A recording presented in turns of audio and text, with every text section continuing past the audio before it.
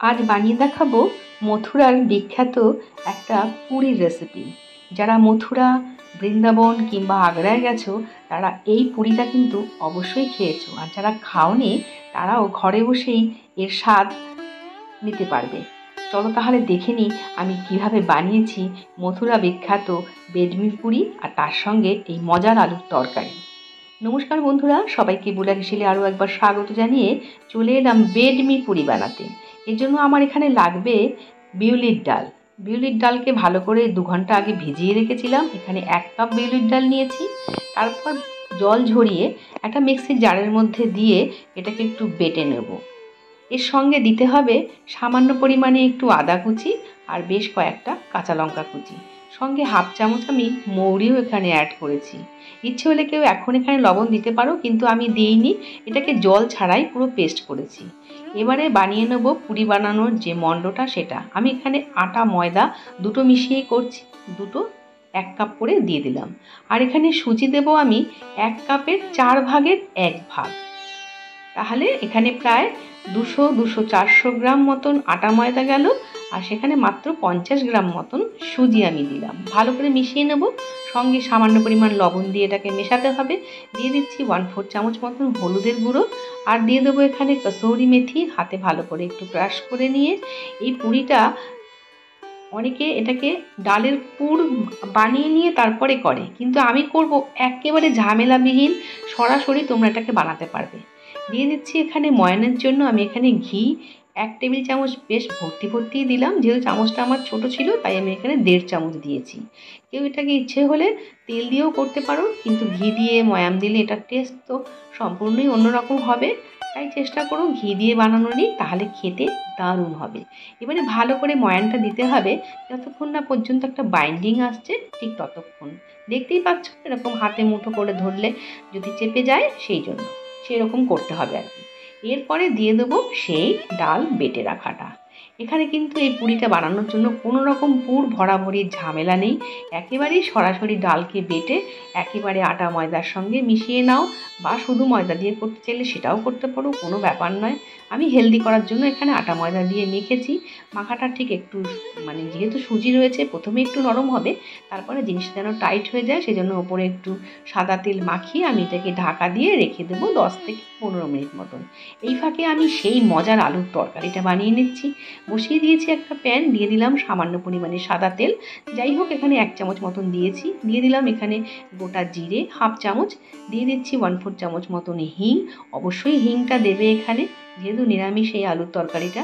দিয়ে দিচ্ছি সামান্য পরিমাণে এক চামচ আদা কুচি আর অল্প কিছু লঙ্কা কুচি। এটা তোমরা নিজেরা পছন্দ মতন দেবে, লঙ্কার কথা তো এখন আর মানে বলাই দুষ্কর।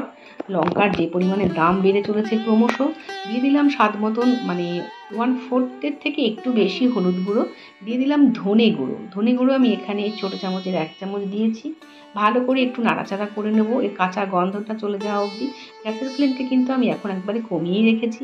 দিয়ে দিলাম এখানে এক চামচ বেসন, এটা কিন্তু অবশ্যই দেবে, এটা কোনোভাবেই মিস করবে না। তা না হলে এটার টেস্টটা কিন্তু সেই দোকানের মতন আসবে না। এখানে দিয়ে দিচ্ছি আমি এক চামচ কাশ্মীরি লঙ্কার গুঁড়ো। আমি এখানে কাঁচা লঙ্কা যেহেতু দিয়েছি, তাই আর কোনো লাল লঙ্কার গুঁড়ো দিলাম না বেশি। তোমরা ইচ্ছে হলে দিতে পারো, কোনো ব্যাপার নয়, এটা সম্পূর্ণ নিজের ওপর। দিয়ে দিলাম স্বাদ মতন লবণ। ভালো করে আবারও মিশিয়ে নেব। গ্যাসের ফ্লেম কিন্তু আমি একেবারে এখন লোতে রেখেই কাজটা করছি। সামান্য পরিমাণে জল দিয়ে ভালো করে মশলাটাকে একটু কষিয়ে নিতে হবে। এই মশলাটা কষানোর উপরেই কিন্তু এটা টেস্ট একটা অপূর্ব টেস্টি এই আলুর তরকারিটা, যেটা কিনা খেতে তো দারুণ। দিয়ে দিলাম ওয়ান ফোর চামচ মতন গরম মশলার গুঁড়ো। আর এখানে আমি টমেটোর বদলে আমি এখানে দিচ্ছি এখন আমচুর পাউডার যেহেতু এটা আমার ঘরে রয়েছে, তাই আমি আমচুর পাউডার দিলাম। তোমাদের যদি ঘরে টমেটো থাকে, এখানে একটা বড় সাইজের টমেটোকেও কুচি করে ভালো করে কষিয়ে নিতে পারো মশলার সাথে। এটির মধ্যে একটা টক ভাব আসবে, তাই তো খেতে এটা দুর্দান্ত হবে। ভালো করে মিশিয়ে নেবার পর আমি আগে থেকেই চারটে আলুকে সিদ্ধ করে রেখেছি। এখানে আমি চারটে আলু দিয়ে এই তরকারিটা করছি। এই তরকারির স্বাদ একবার যে খাবে, সে বলবে আবারও খাব। আর লুচি পরোটার সঙ্গে আর এইরকম পুরীর সাথে যে অপূর্ব লাগে এই তরকারিটা, যারা খেয়েছো তারা তো জানোই। তবে যারা খাওনি তারা কিন্তু অনায়াসেই এই রেসিপি দেখে বানিয়ে নিতে পারবে। ভালো করে মশলার সঙ্গে আলুটা একটু মিশিয়ে নেব। আলুটা কিন্তু একদম ম্যাশ করবে না, আমি হাত দিয়ে আধ ভাঙা করে দিলাম দেখতেই পেলে। তারপরে প্রয়োজন মতো জল মেশাতে হবে। এখানে ঝোলের পরিমাণ যেটা যতটা তোমরা রাখতে চাইছো, এটা কিন্তু ঠান্ডা হয়ে গেলে বেশ ঘন হয়ে যাবে। সেই কারণেই তোমরা জলটা একটু বেশিই দেবে পারলে। ভালো করে মিশিয়ে নিয়ে আমি এখানে এক কাপ জল দিয়েছি। এবার গ্যাসের ফ্লেমকে একটু বাড়িয়ে দিয়ে দু তিন মিনিট মাত্র ফুটিয়ে নেব। এখানে সবই তো ভাজা হয়ে গেছে, প্লাস আলুটা সেদ্ধ করা। ঢাকা দিয়ে আমি দু থেকে তিন মিনিট মতন রাখব। দেখো এখন টকপক করে ফুটে উঠেছে। এবারে ভালো করে একটু নাড়াচাড়া করে নেব।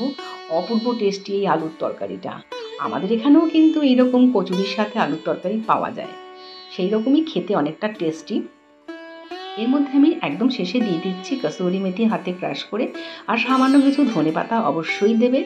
তা না হলে কিন্তু এটা টেস্ট একেবারে কী যে বলব আমি বলতে পারছি না, কথা বলতে বলতেই এত দারুণ লেগেছে এই তরকারিটা।